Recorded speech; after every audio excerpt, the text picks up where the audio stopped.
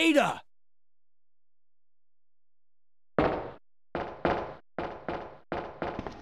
What was that all about? Running off like that was reckless and stupid.